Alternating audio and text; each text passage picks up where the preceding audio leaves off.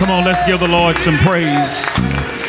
If you know there's something about the name of Jesus, if, if that name, just saying the name makes you feel better, can we call his name? Come on, call his name. What's his name? Call his name. Demons tremble at the name of. If Jesus has made a way in your life, come on, give Jesus some praise.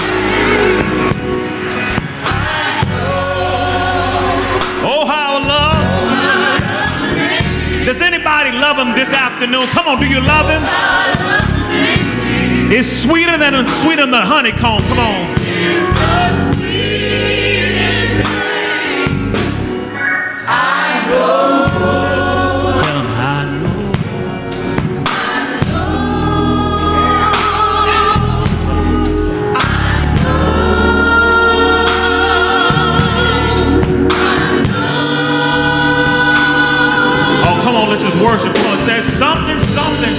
Something, something, something. Has Jesus made a way for you? When you felt like throwing in the towel, he said, Hold on, my sister. I'm not done with you yet.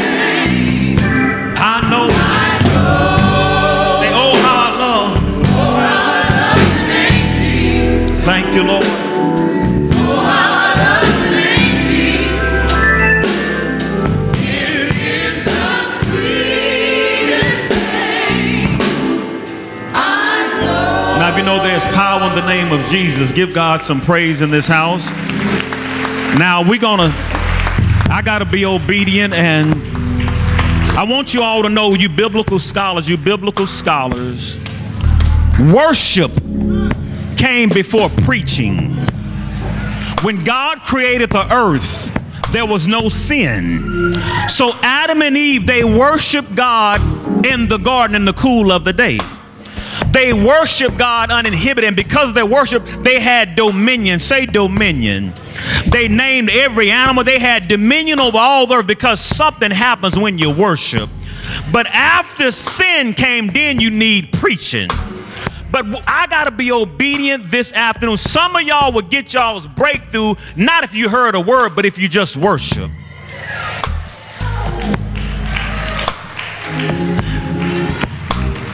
Worship requires participation. See, see, some of y'all say, Pastor, preach the word, but the Lord says, why don't you worship? Because the word has already happened. You you missed the word because he says, trust in the Lord with all your heart, lean not to your own understanding. That's Proverbs 3 and 5.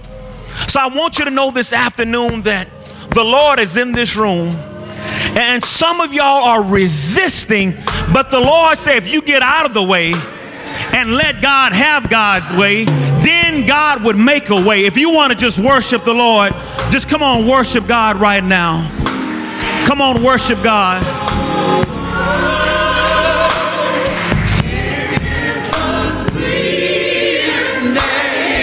Tell him, I know.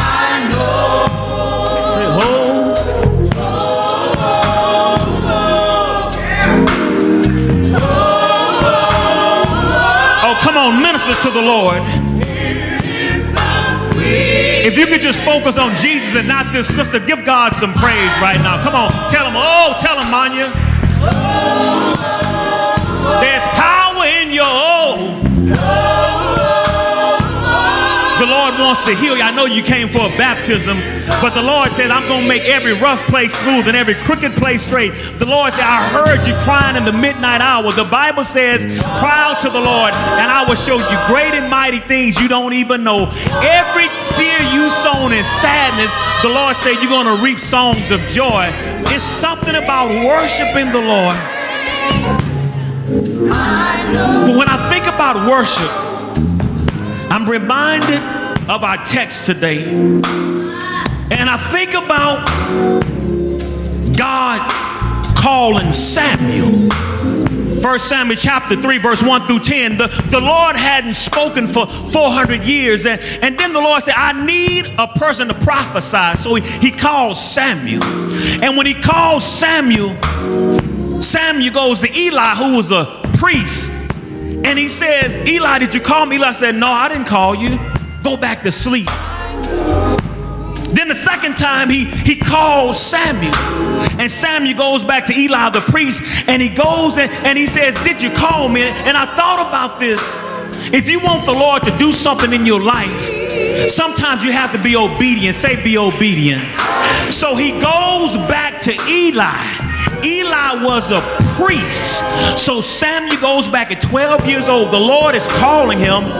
And Samuel realized if I'm going to be used by the Lord and hear from the Lord, I need to have seasoned people in my life. So if you want the Lord to speak in your life, you need somebody who has some wisdom in your life. Who's your Eli this afternoon? Who gives you advice? And if you're going to hear the Lord speak, you have to surround yourself with people of wisdom. That's why you need to get in a loop group because you can't do this journey by yourself, baby. See, if you get somebody, you can lean on that person when you get weak. But if there's nobody, you're going to lean and you're going to fall. Everybody needs an Eli. Now, the thing about this text, Eli was a priest to the people. Even though he prayed for the people, he had family problems at home. Got any family problems? Come on, tell the truth, you church folk. Anybody dealing with some family problems right now? Come on, tell the truth, shame the devil. But he realized that God is not always concerned about if you have it all together, but he realized if it had not been for the Lord on your side, you wouldn't be here. So he saw something in Eli. So Eli gave him a word. So Samuel goes back to sleep. And on that third time, he called him. And he goes to Eli and, and, and he says, Did you call me? Do you hear what I hear? He said, No, son, I don't hear. But let me tell you, whenever God calls you, nobody hears the calling but you. Y'all missed that. You missed that. God doesn't call your neighbor for your calling. When God calls you, nobody, your mama, your daddy, big mama, auntie, Uncle Joe, they can't help you. But the calling is for you. So he goes back to sleep. But what happened, Betty Sims, what happened, he says, is this you, Lord? And some of you all right now, you are making deplorable decisions. You are making mistakes because you can't differentiate whose voice is talking. Here it is. He goes back the third time and, and he realized he had to understand is it God talking? Is it the devil talking? Or is this me talking to me? But you will know when the Lord is talking. Because if you read your Bible, John 10, it says, My sheep know my voice. But when God speaks to you, you know that it's of the Lord. Well, let me go to John 10 and 10. He says, The enemy comes to steal, kill, and I'm glad you know your Bible. He says, But, say, but. It's always a conjunction on your way to a blessing. But, give God some praise for the but. See, you got to go through something in order to get to the but. And then there's a comma. The comma lets me know, y'all, it ain't over. Jesus says, But I came that you may have life and have it to the full more abundantly. So, how do I know if it's God talking? But I'm gonna tell you how you know if it ain't of God. If it's something trying to steal your peace, kill your hope, and rob your joy, that ain't of God. That's the devil lying to you. But check this out. Some of y'all are on the verge of a breakthrough, and the enemy says it's a breakdown. But when God gives you a word, and when you have peace that surpasses all understanding, it's kind of like God said, I told you what to do, and everybody gonna think you're crazy. But remember crazy Peter, when the Lord called him, he didn't call all the disciples, he didn't call his neighbor, he called Peter and said, Peter, come. Peter got the boat and he started walking on water because he had peace. And the Lord says, even though this season may seem crazy, I'm going to give you peace to walk on things that try to walk all over you. I'm going to give you peace. So if you're going to hear from the voice of the Lord, you have to learn how to sift, sift through various voices. Surround yourself with people who have wisdom. Sift through various voices. And the final thing, I'm going to get you out of the way so you can go to brunch. Y'all ready to go to brunch?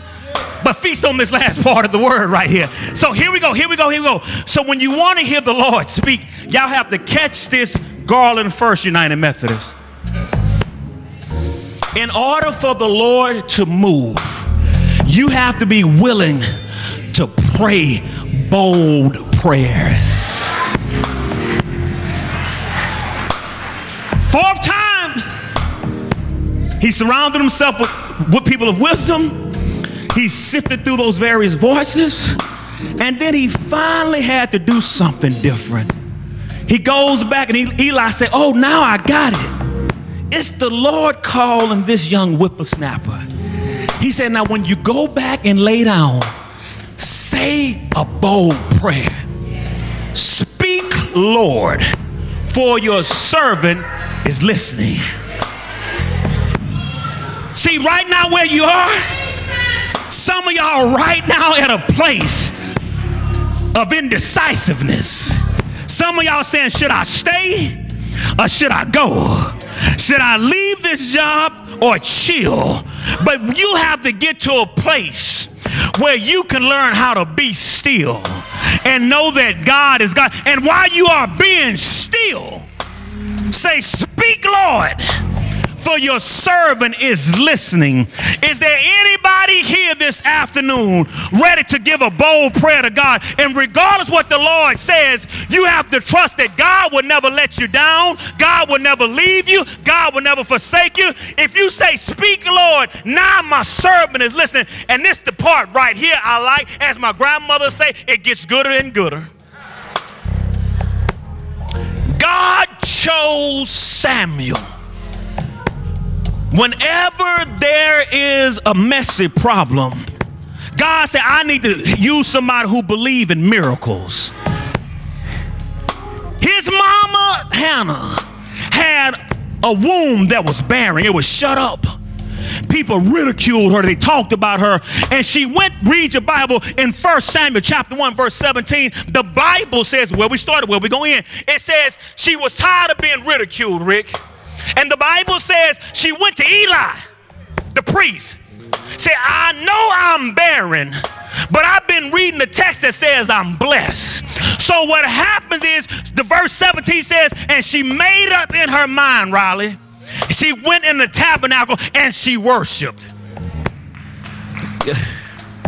She went in the tabernacle and she worshiped. Check this out. Y'all gonna like this. You because y'all gonna like this. She was once barren. People talked about her. They laughed at her, and it was considered a curse or a stigma to be barren. And she goes into the house of the Lord, and what she thought in outside was a tomb. She came in the tabernacle and realized it was a womb. A womb is a place where miracles are manufactured in birth. Yeah, y'all missing that. Y'all missing that. Y'all. Let, let, let me say it real slow because I'm talking slower today. She went into the tabernacle and God said, I know your heart. Regardless what the world says, she began to worship and she went home and had Samuel. So here we are, two chapters later. Chapter three. He knew that if you did it for my mama, because the Bible says, if you let me have this baby, I'm going to give him back to you. And when you've been praying for a blessing, you ask God for that raise. I would tithe better. If God gave you promotion, give it back to the Lord because the Lord giveth and the Lord will. She gave her best back to the Lord. And he goes for the Lord and he says, Speak, Lord, for your servant listening. And after that, y'all, things change. Let me tell you this, I'm going to close. When you begin to pray that bold prayer, God will change the very trajectory of your life. When you thought doors were closed, when you say, Speak, Lord, God say, I will open up doors. When you go to try to get that car and your credit score is, is a little lower than the Mississippi, you, you say, God, you know what? I'm working on my credit, but you are a credit repairer. So when you show up for that job interview, knowing that you're not qualified, but I am qualified, and God, speak, Lord for your servant is listening. Some of y'all have an interview tomorrow, and your one bold prayer better be speak, Lord, for your servant is listening. Some of y'all's money is funny and your change is strange. You got to rob Peter to pay Paul. Don't look at your Chase bank account. You better look to the heavens and come at your help and say, Speak, Lord, for your servants are listening. Is there anybody here this afternoon willing to pray a bold prayer and know that when you cry out to the Lord, God said, I will show you great and mighty things that you don't even know. If you know that the Lord is about to do something right now, give the Lord some praise in this house. And I, don't leave me. Stay right there. See, some of y'all right now, you got so much noise going on in your life, and you can't even hear from the Lord. And you got voices, not just of the enemy or not just of you, but you got voices of guilt. You got voices of resentment. Some of y'all have voices of unforgiveness right now. And you want to go to another level. Today, you have to learn how to release some stuff. See, there is a dam that's blocking you from getting to your destiny. And shame on you if God has shown you that demon and you're going to let that demon rob you of your joy, take you your peace, and kill your hope. I double dog dare you right now to speak to that demon that's been holding you back, that demon of guilt, but God says, by his stripes, you're set free. That demon of unforgiveness, he said, the same way I forgave you, you have to forgive the next person. He said, you have to forgive seven times 70. And there's somebody here that you have to understand that even when you don't thank you enough, the Bible says that you are fearfully and wonderfully made. So this place is called St. Luke. This is a place of healing. Luke was a physician. He healed people. So every time you come into this house, you should expect to be healed mind, body, soul, and spirit. When you come to church, come in and say, Speak, Lord. For your servants are, listen, I came in one way, but I'm going to leave a different way. I came here with a frown, but I'm going to leave with a smile because I know that the joy of the Lord is my strength. I came in one way, but I'm going to leave a different way. Is there anybody here this afternoon as I close my last close? You want to see God move? Pray a bold prayer. Not that now I lay me down and sleep, I pray the Lord. That's that's cute prayer. And the enemy laughs at that. Pray God's word. And God has to move on God's word. God's name is on the line. When you pray in Jesus' name, He says, You know what? I will answer in due season. I may not come when you want me, but you're going to want me when I come. God says that delayed prayer is not a denied prayer. The reason why the prayer hadn't answered because you're not ready. But while you waiting, won't you worship?